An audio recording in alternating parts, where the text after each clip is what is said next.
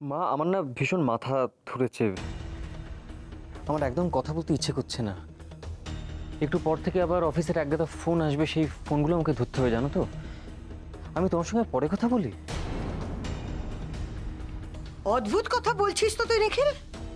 হ্যাঁ মানছি তোর মাথা ধরেছে কিন্তু তাই বলে আমার একটা ছোট্ট প্রশ্নের উত্তর তুই দিতে পারছিস না? আর্য দিয়া কেমন আছে এটাই তোকে জিজ্ঞেস করেছি। তুই বলে দে তারপর রেস্ট নে। ম- কি বলব বলো তো আমি? এটাই তোমার সমস্যা, জানো তো? তুমি এত টেনশন করো অল্পেতে এত প্যানিক করার কি আছে, মা বলো? শোন নিখিল, কাল রাত থেকে আমার বড় ছেলে আর বৌমা বাড়িতে ফেরেনি। ওরা একাডেমিতে গেছে ক্যাম্প করছে। আর সেখানে মায়াঙ্ক শর্মাও আছে। তাই ওদের ভালো মন্দর কথা ভেবে আমি প্যানিক করব টেনশন করব, এটাই তো স্বাভাবিক। আর যেহেতু তুই ওদের সঙ্গে দেখা করে এইমাত্র এলি, তাই ওরা কি করছে, কেমন আছে, সেটা তুই আমাকে বলতে বাধ্য। বল। আমার আর্য আর দিয়া কেমন আছে, বল।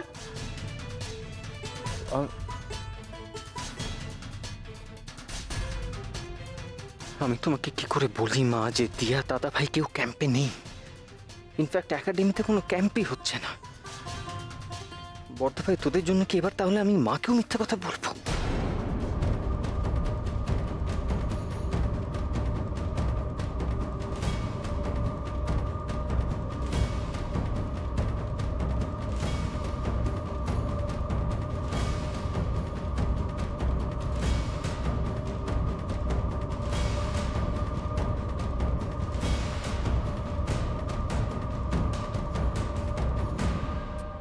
কি বাবা আমার তো ঘুম পাচ্ছে কেন?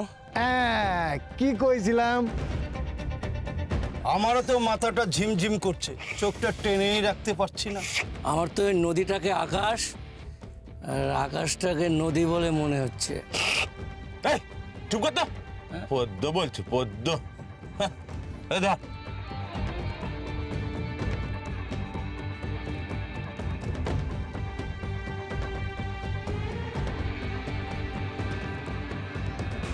এই তোমরা এতে কি কি মিশিয়েছ বলো তো?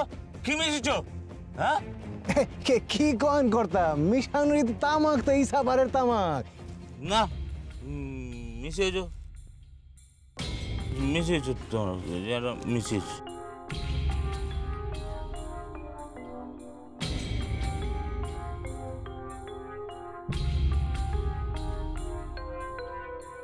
মাঝি ভাই আপনি তাড়াতাড়ি আরেকটা নৌকা ডাকুন। আমি দিয়াকে বের করছি। তাড়াতাড়ি ডাকুন এক্ষুনি ডাকছি কর্তা। ও লক্ষণ! নাও তাড়াতাড়ি আয় নাওলে তাড়াতাড়ি আয়!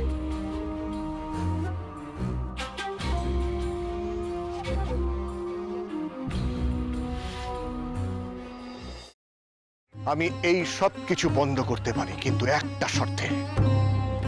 তোমাকে আর দুর্গাকে আমাকে ছুঁয়ে কথা দিতে হবে।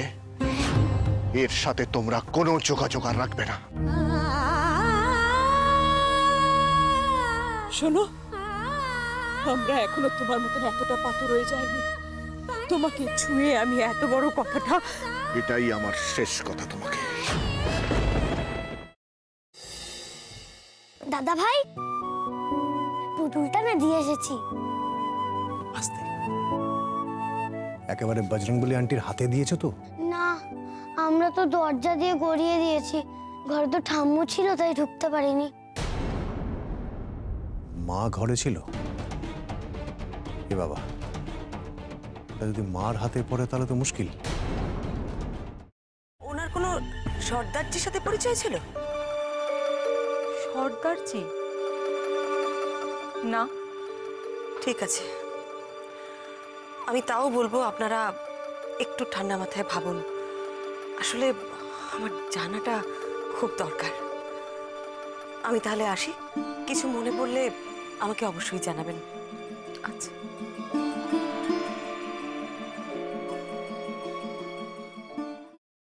ফ্রাইং প্যানে Emami healthy and tasty refined rice bran oil গরম করে তাতে গোটা কালো সর্ষে আর কারি পাতা ফোড়ন দিয়ে ওর মধ্যে একে একে টমেটো কুচি, বাঁধাকপি বাটা, নুন, হলুদ গুঁড়ো, শুকনো লঙ্কা গুঁড়ো আর সামান্য চিনি দিয়ে ভালো করে কষিয়ে নিয়ে ওই মিশ্রণে কুড়িয়ে বেটে রাখা নারকেল পাকা লঙ্কা কুচি আর কারি পাতা দিয়ে ভালো করে নাড়াচাড়া করে নামিয়ে নিয়ে নারকেলের স্লাইস পাকা লঙ্কা স্লাইস আর কারি পাতা দিয়ে সাজিয়ে সার্ভ করুন বাঁধাকপির ঝাল।